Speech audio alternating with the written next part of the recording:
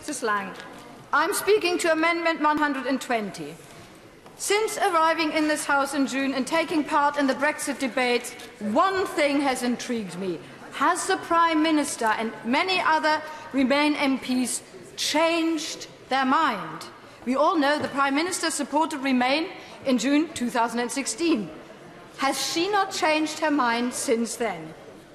This is important because the Prime Minister and her government uses one big argument for pressing on with Brexit. That is, it is the will of the people. Is it? For the government and the hard Brexiteers, the referendum result is fixed forever. The people cannot change their mind. The Prime Minister and other MPs can change their mind, but the people cannot.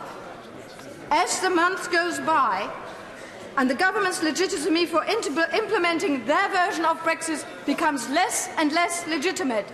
Obeying the will of the people is the last remaining legitimacy. But nobody bothers to find out what the will of the people is now.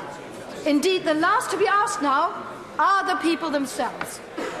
Honourable members are right to say that Britain is a parliamentary democracy but now we've had a referendum. There is no obvious mechanism for updating, confirming, or reviewing the referendum result.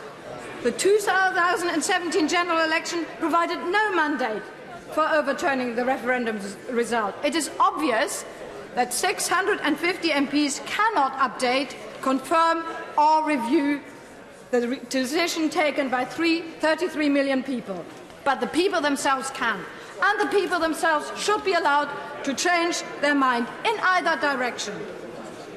There are people now who voted Remain who feel that the decision has been taken and government should get on with it. There are others who voted Leave who fear they are going to be let down by politicians who have used them for their own ends. The will of the people is a mixed bag. This government is legislating for a Brexit in the name of the people. Their problem is that they might find themselves pressing ahead, with some, uh, ahead without the people's consent. Last week, Parliament voted to give itself a vote on the deal. This is a welcome step forward. But what started with the people must end with the people. The people must sign off or reject the deal.